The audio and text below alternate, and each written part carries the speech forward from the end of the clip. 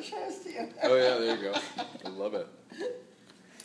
Um, oh, So, do the, you did a tilt. Okay, but, but here's what you're doing, you're starting, and your, and your, your head went right down, and your leg went right up. You never encompassed the audience, you never got the judges and got them in the palm of your hand. You never even acknowledged me.